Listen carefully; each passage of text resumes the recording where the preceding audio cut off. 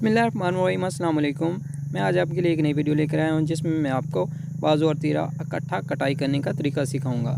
ये हमारे पास नाप था वीडियो स्टार्ट करते हैं। सबसे पहले आपने नॉर्मल जिस तरह कटाई करते हैं, उसी तरीके से फ्रंट और बैक को बिछा लेना है, क्योंकि हमने फ्रंट और बैक की कटाई करनी है और बाजू और तीरे की कटाई करनी है। बाकी टाइम हमने वेस्ट नहीं करना। जो हमने मेन चीज़ है वही हमने आपको सिखाना है। आपने गौर के साथ देखना है। बिल्कुल आसान तरीके से मैं आपको समझा रहा हूँ। ये हमने गले का निशान लगा लेना है। अब हमने तीरे का निशान लगाना है। जितना आपका तीरा होगा, बिल्कुल उतना ही आपने तीरे का निशान लगाना है। ये हमारा सवा आठ इंच आएगा, साढ़े सोलह इंच। अब आपने यहाँ से डाउन करना है। सवा दो इंच आप डाउन कर लेंगे। ये आप अपने नाप के हिसाब से भी करते हैं, लेकिन नॉर्मली दरमियाना सूट है तो हमने सवा दो इंच जो है डाउन किए। नीचे से भी आपने एक इंच, एक निशान जो है वो तीरे का लगाना है और इसकी लाइन आपने इस तरह सीधी कर लेनी है। ये इस तरह आपने पीछे से एक निशान लगाना है। ये हमने बैग की जो कटाई करनी है तो हमारा कंधा जितना बचेगा यहाँ से आपने नाप करना है, ये पौने दो इंच आ रहा है। तो हमने आधा इंच इसका इजाफी निशान लगाना है, जो हमने फ्रंट का ज़्यादा कटाई करनी होती है। यहाँ से आपने नाप लेना है और एक इंच नीचे रख के हमने पौने दो और पौने दो और सात को हम जमा करेंगे। तो हमारा जो है पौने नौ आएगा। इस तरह आपने निशान लगा लेना है। इस तरह यहाँ से।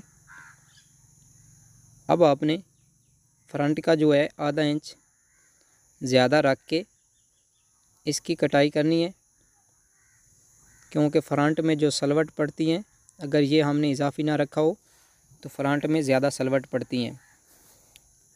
अब आपने यहाँ से इसकी जो है तीरा वो, उसका निशान लगा लेना है।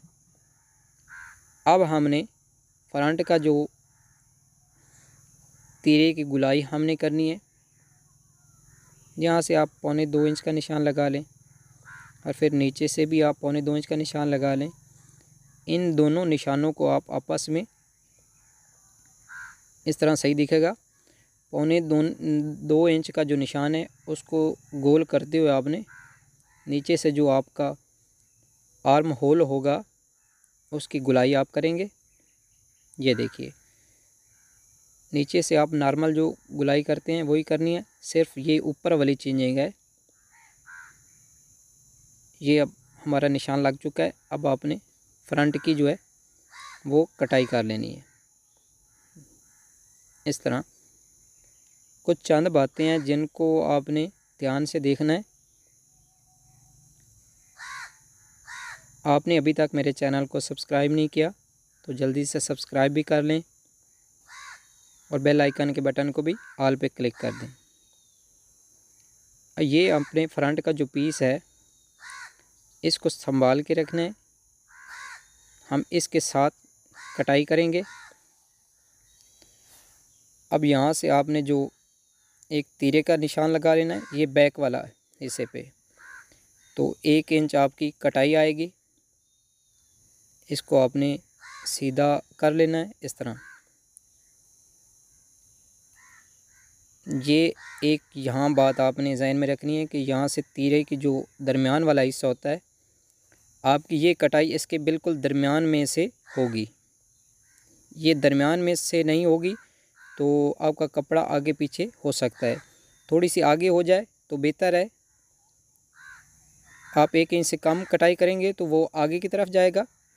एक एक इंच से ज़्यादा करेंगे तो वो पीछे की तरफ़ भी ढिलक सकता है। अब यहाँ से आपने बैग को इसी तरीके से मिला लेना है। अब जहाँ से आपका जो निशान इसके साथ मिल रहा है, वहाँ से आपने ऐसा ऐसा इसकी गुलाई करते जाना है और आधा इंच का गैप बना लेना है और यहाँ से गुलाई दे लेनी है। वो देखो ना, आपको निशान नज़र आए जहाँ से आगे के साथ बैग का जो निशान है वो अटैच हो रहा था, वहाँ से हमने कटाई शुरू की है। और बैक को भी इसी तरीके से आपने ऊपर लिख लेना है कि ये बैक है तो आपको पता चलता रहेगा। तो आपने इस दोनों को इस तरह रखना है। अब यहाँ से आपने एक बात बिल्कुल ध्यान से समझनी है। इसका जो नाप करना होता है, नाप में बहुत मसला आता है। जब आप बाजू की कटाई करते हैं तो आपको इसकी समझ नहीं आती। यहाँ से ये जितना नाप आ रहा है। अब यहाँ से आपने सीधा जितना आप नॉर्मल कमीज़ की जो नाप करते थे, ये देखिए, यहाँ पे आठ इंच आ रहा है, हमने पौने नौ इंच तैयार करना है। तीरा इसमें आएगा तो ये ज़्यादा बनेगा। कटाई हम आठ की करते हैं तो बाजू जो है, वो हम साढ़े आठ, पौने नौ का करते हैं। और ये गुलाई और ये गुलाई, दोनों आपने याद रखनी है। वैसे नॉर्मली पौने नौ इंच की हमने कटाई करनी है। और जो फ्रंट की ऊपर वाली गुलाई है, वो साढ़े बारह इंच होगी। बैक वाली गुलाई, वो भी आपने नाप लेनी है। इस तरह, जो फ्रंट वाले बाजू है, नॉर्मली आपने पौने नौ इंच इसका तैयार करना है। जिस तरह यार आप नॉर्मल कमीज़ की कटाई करते हैं ना तो बाजू नाप लेते हैं कि हमारा बाजू की कटिंग कितनी होगी उसी तरीके से आपने इसको नाप लेना है। और जब बाजू कटाई करेंगे, वहाँ पे मैं आपको बताऊँगा कि उसे कैसे नापना है और दूसरे गुलाई वाले को कैसे नापना है। अब हम इसकी कटाई करते हैं। यहाँ से जो सिंगल पी कपड़ा है तो आपने पहले तीरे का एक निशान लगाना है, फिर आपने बाजू का निशान लगाना है। जितना नाप आएगा उससे दो अढ़ाई इंच आपने इजाफी रख कर इस कपड़े को इसी तरीके से आगे की तरफ़ फोल्ड कर लेना है। बिल्कुल आसान तरीका है, कोई मुश्किल नहीं है। बस इस, ऐसे देखने वाले को लगता है कि ये बहुत मुश्किल है, लेकिन कोई मुश्किल काम नहीं है। बंद वाली साइड इस तरफ़ रख लेनी है, क्योंकि आपको पता कि तीरा जो है दरमियान में से खुला नहीं होता तो हमने तीरी की जिस तरह कटाई करते हैं, उस तरह कपड़ा रखना है। यहाँ से अब आपने पौने नौ इंच जो हमारा बाजू का है, वो हमने तैयार करना है तो हमने एक इंच कम। जितना आपने बाजू तैयार करना है, उससे एक इंच कम निशान लगाना है। और यहाँ से आपने इसके ऊपर टोटल तीरे का मार्क कर लेना है। ऊपर हमने जितना बाजू रखना था, उससे आपने एक इंच कम निशान लगाकर एक लाइन खींची है। और इसके ऊपर बिल्कुल तीरे की शेप बना लेनी है। इन चीज़ों का आपने ख़ास ख्याल रखना है, ये देखिए। यहाँ पे आपको परेशान होने की कोई ज़रूरत नहीं, यहाँ पे हम सिर्फ़ तीरा जिस तरह हमारा तीरा बनेगा वो ही आपने यहाँ मार्क कर लेना है। ये देखिए हमारा, जितना गला होगा इतना गला कर लेंगे। यहाँ से सिर्फ़ आपने एक चीज़ यहाँ में जहन में रखनी है कि हम पौने दो इंच इसकी हाइट रखते हैं यहाँ से तो हमने पौने दो इंच नहीं रखनी। हमने इसे कम करके सिर्फ़ एक इंच कर लेनी है। बिल्कुल कम नोक हमने बनानी है, क्योंकि फ्रंट पट्टी के के ऊपर जब कलर हम लगाते हैं तो उसमें मसला आता है कि वो सही तरीके से बैठता नहीं है। तो हमने इसकी हाइट जो है, वो पौने दो इंच नहीं देनी, सिर्फ़ एक इंच करनी है यहाँ से। ये देखिए, और गुलाई बिल्कुल हल्की सी देनी है। बिल्कुल हल्की सी। जिस तरह नोक से गुलाई करते हैं इस तरह करनी है। ये तीरे की जो आपने ये गुलाई करनी, इसका मेन ये आपने याद रखना है। ये हमारी तीरे का निशान लग चुका है। अब आपने ये लाइन इसकी सीधी कर लेनी है। अब तीरे का जो दरमियान वाला जगह है, उससे आपको पता है कि बाजू थोड़ा सा पीछे आता है। तो आपने दरमियान में से आधा इंच पीछे की तरफ़ निशान लगाना है। ये आपने बाजू का दरमियान वाला हिस्सा बनाना है। ये देखिए। ये आपको नज़र आ रहा है कि जितना आपने बाजू का दरमियान वाला हिस्सा बनाना है, ये बैक, ये तीरे के दरमियान में से बैक वाली साइड पे आधा इंच पीछे की तरफ़ आपने मार्क लगाकर बिल्कुल सीधी लाइन खींच लेनी है, जितना आपका बाजू बनेगा। इस तरह ये हमारी लाइन सीधी हो गई। अब आपने यहाँ से नाप करना है। ये देखिए यहाँ से आपने जितना आपका तीरा होगा बाजू होगा, ये हमने पौने नौ इंच तैयार करना है। ये जहन में रखिए। पौने नौ इंच इधर निशान लगा लिया और पौने नौ इंच का इधर निशान लगा लिया। सिर्फ़ ये नाप आपने इस तरह करना है। दोनों तरफ़ से आपका पौने नौ इंच का निशान आएगा। अब यहाँ से आपने इसको दोनों साइडों से जो डाउन करते हैं अलमादा की शेप बनाते हैं। उसके लिए आपने साढ़े तीन इंच नीचे की तरफ़ एक निशान लगा लेना है। इस तरह।